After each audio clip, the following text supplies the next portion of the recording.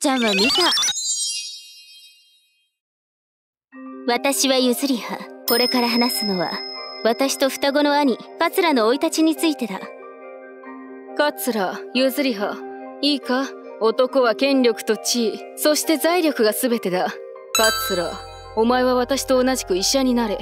それ以外の道は断じて許さん。はいお父さん。それから譲り派。女は品格と知性教養を兼ね備えるべきだ。お前は母さん同様看護師となって社会的地位を獲得した医者と結婚するんだ。分かったな？はいお父さん。いい？お父さんの言うことは絶対よ。一族の名を汚さないためにもあなたたちには叱るべき教育を施します。同じ道を志していない人間は全員社会のゴミだと思いなさい。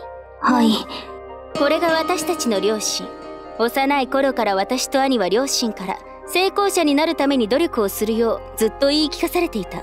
特に兄は厳しくしつけられ記憶にあるのは机に向かって勉強している姿ばかり。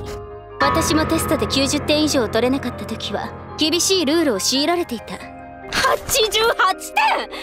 あこんな簡単な問題ばかり間違えるなんて！ああ恥ずかしい！罰として今晩のご飯はなしですからね！しっかり復習して二度と同じミスを起こさないようにしなさい！はい。お腹すいた。ゆずりははいこれ。お母さんたちには内緒ね。しいいいの？これお兄ちゃんのでしょ？いいんだよ。僕もやらかした時用にこっそり買っておいたやつだから。母さんが管理してる食べ物じゃないよ。さ食べて。お兄ちゃん。ありがとう。私頑張るああ二人で頑張ろう。兄の桂は両親とは対照的にとても優しく私の心の支えになってくれていた。あの厳しい両親や規則に耐えることができたのは全て兄のおかげ。私たちは朝昼晩死に物狂いで勉強して両親の期待に応えようと一切遊びも息抜きもせず努力してきた。その結果小中高と私たちは親が指示した学校を受験し無事難関試験を突破することができたのだ。でも人生は必ずしもいい方向に転がるわけではない。あれは兄の大学受験合否の日だった。0137 0137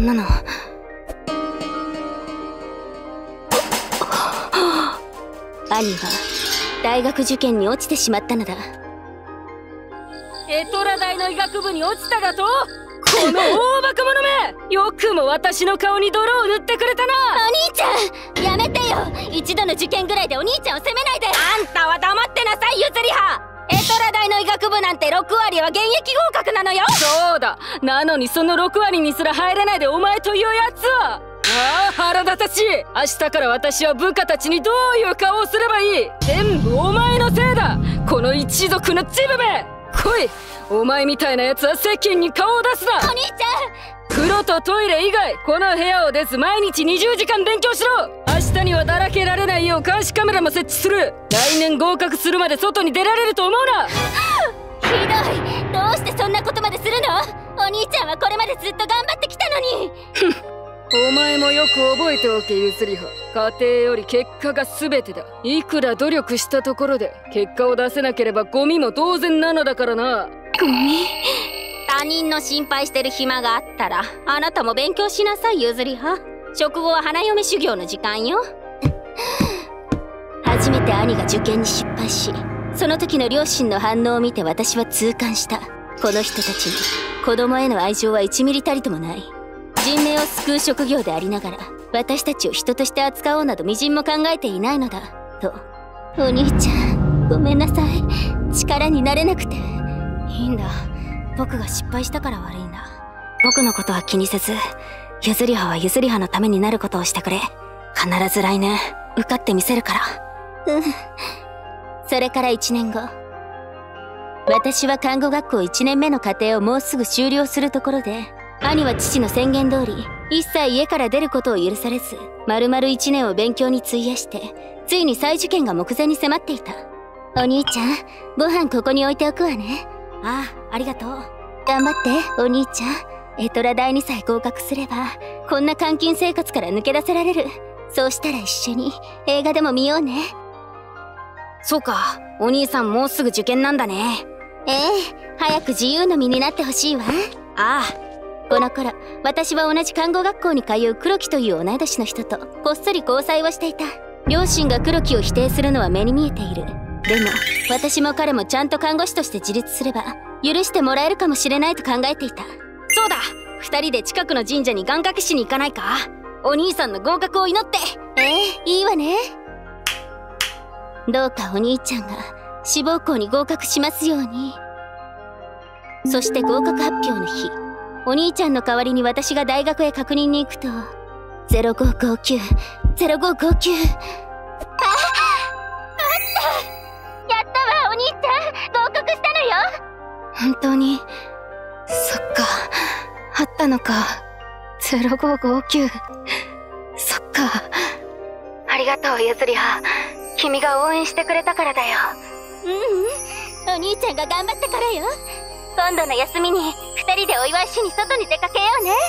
ああそうだね。あとは大学で6年頑張って医者にさえなればお父さんたちも何も言わなくなるはずだわ。しかし今なんて？だから言っただろ。在学中はこれまで通りの生活をしてもらう。ただでさえ一郎など恥ずかしい失敗をしてくれたんだ。その分1分1秒でも早く遅れを取り戻せ試験成績は常にトップでいなさい。もうお父さんの知り合いのお医者様にもあなたの指導をお願いしてるから。これ以上私たちを失望させないでちょうだいね。そんな話が違うわ。去年は合格するまでって言ってたじゃない。合格後については今決めたことだ。ルールを犯したら一生食事は出ないものと思え。ひどい。そんな。待ってください。せめてせめて一度だけゆずりはと一緒に合格祝いとして外へ出かけさせてください。お願いします。ダメだ。まったく何が合格祝いよ。一度失敗しておいてよくも恥ずかしくないものだわ。それからゆずりはお前にも縁談の話がある。え？私と同じ立場にある医者だ。看護学校を卒業したらすぐそこに嫁いでもらうからな。嫌よどうしてそんな勝手な。あなたのためよゆずりはあなたまで私たちに恥をかかせないでちょうだい。さあ早く部屋に戻って勉強するのよ。行こうゆずりはそれから兄は自室に閉じこもり再び親の監視下で勉強付けの日々を送ることになった。そして数ヶ月後お兄ちゃん食事持ってきたわよ。おお兄ちゃん？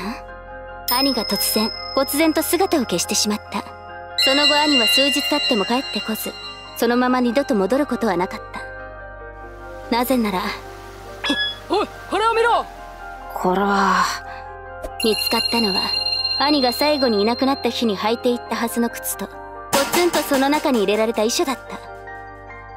まったく自殺とはどこまでも恥知らずなあんな役立たずを20年も育てたのが私の人生一番の汚点だ。ええこんなことになるならもう一人男の子を産んでおけばよかったわ。こんなくだらないものだけ残して。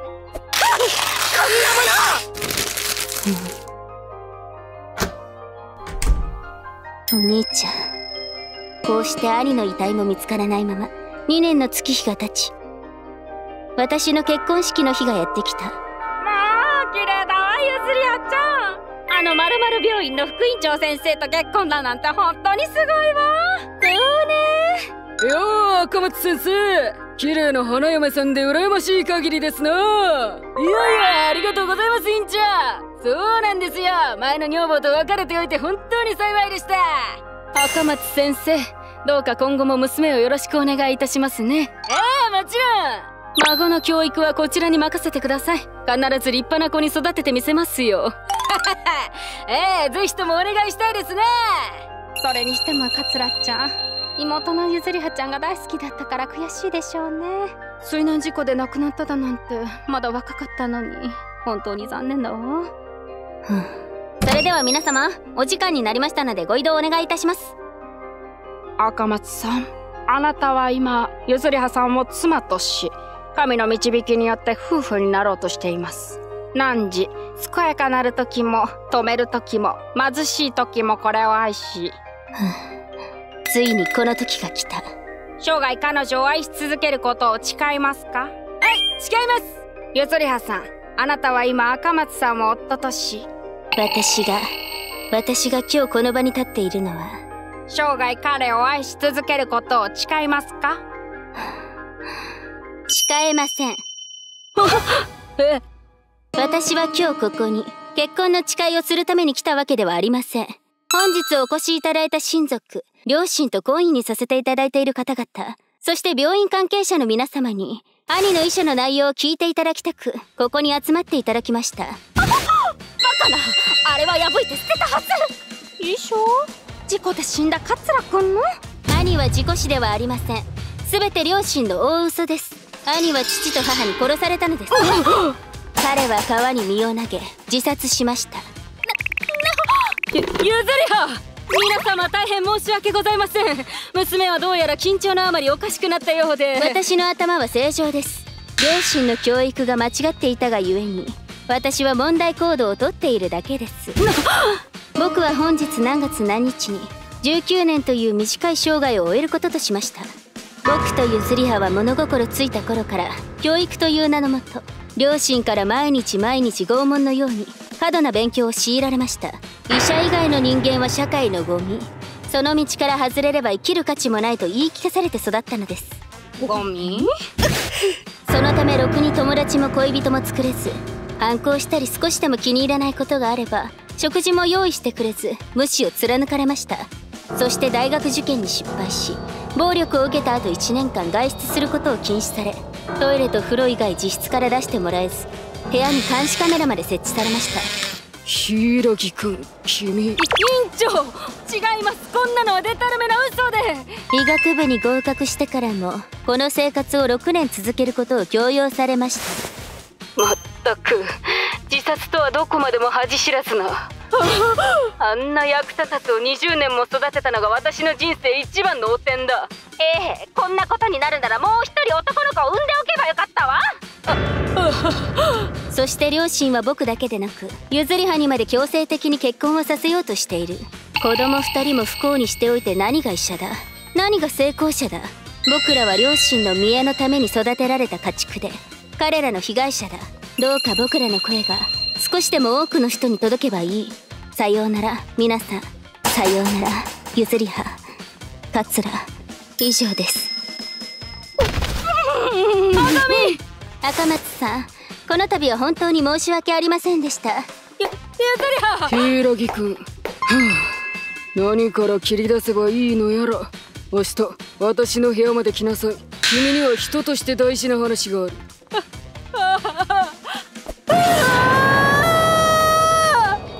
して私は兄と自分の復讐を遂げたのだった。神父様。もう神父じゃないわ。ゆずりは早く乗って。うまくいった？ええ。お母さんは倒れてお父さんは最後の最後に絶叫してたわ。だろうな。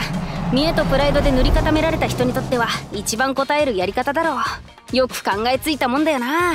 ええ。さすがお兄ちゃんだわ。お兄ちゃん？やあお疲れ様ゆずりは。大変な役割をさせて本当にごめんね。うんうんいいのよ。兄は生きていたのだ。死んだと見せかけてここでひっそりと暮らしていた。両親を欺くために。黒木くんもありがとう。いいえこのくらい。あの日。私学校で付き合っている人がいるの。でももうダメね。別れを言わなきゃ、別れる必要なんてないよゆずりは僕はね一度死んでみようと思うんだ。えし死ぬ？安心して本当に死ぬわけじゃないから人生をリセットしようと思うんだ。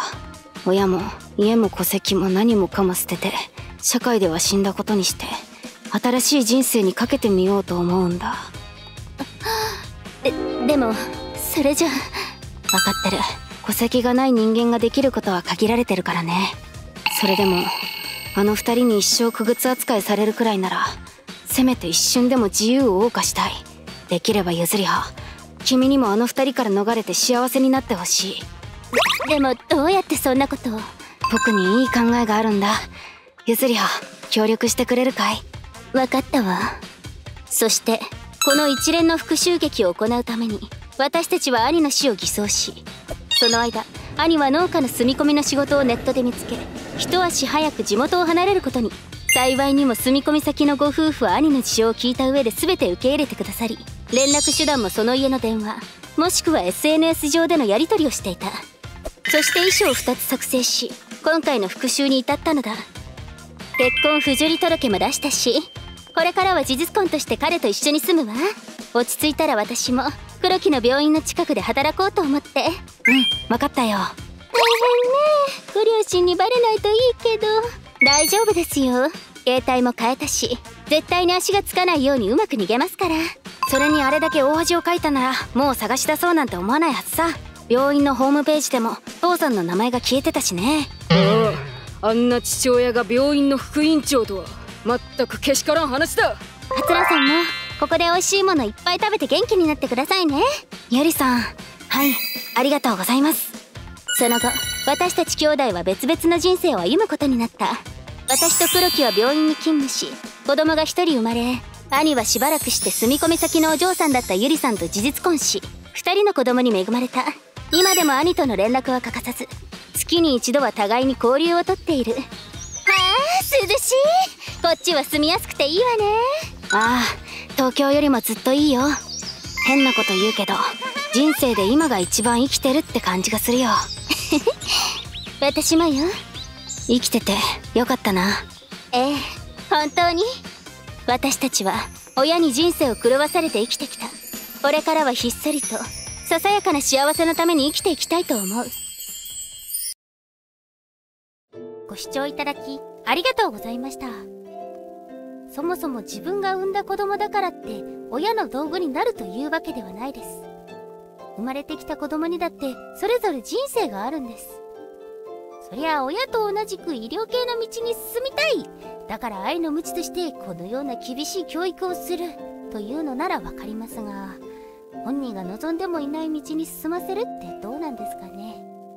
本当にやりたかったことが絶対にあったはずなんです。作中でも言ってましたがこんな心ない人が人命を救っていると思うとなんだか色々思うところがありますね。皆さんはどう感じましたか？コメント欄に書いていただけると嬉しいです。また少しでもスカッとした方チャンネル登録と高評価をお願いいたします。